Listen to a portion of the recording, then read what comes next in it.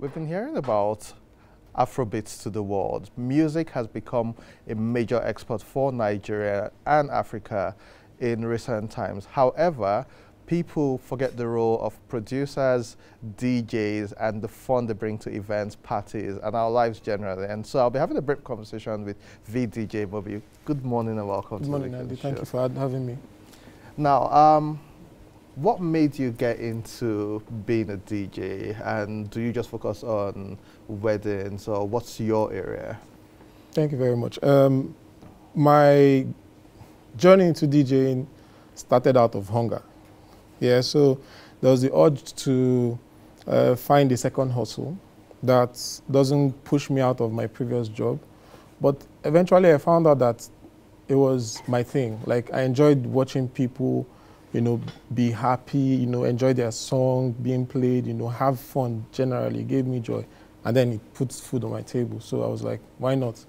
You know, there's that part. And then there's the part where I also came to discover that I was playing a big role in a scheme of things. You know, um, Afrobeat in general, the journey which we've seen so far can be said to be to have started from on the back of DJs because were it not for DJs abroad who took like we have cases of DJs that come to Nigeria, take songs on CDs and travel abroad to play them so that those in, in abroad, that's before the advent of MP3, could hear them. We would not have had this um, Afrobeat explosion. So yes, I wanted to be a part of that journey, and that is why I became a DJ. And to your second question, um, I am basically a wedding DJ. So what I do is I, am mostly into events, um, weddings, wedding after parties. But I also do other um, things. But basically, I'm a wedding DJ. Yes. So interestingly, I've noticed that um, producers and DJs now make their own music. So DJ Neptunes, DJ Spinall, they now create their own projects um, collaborations, DJ Khaled, I yes. mean. And um, I also understand that you have a single coming out. Yes, I, I um, do. Tell us about that. Um, it's called Phaphama. It's uh, Zulu for awake. It's Amapiano. I mean, Amapiano is a new rave, and it's African. It's, it embodies everything. You know, the, you know, from way back, Africa has more. The com communication in Africa has mostly been about non-verbal communication, sound, you know, uh, smoke communication, communication through smoke, through the drums, you know.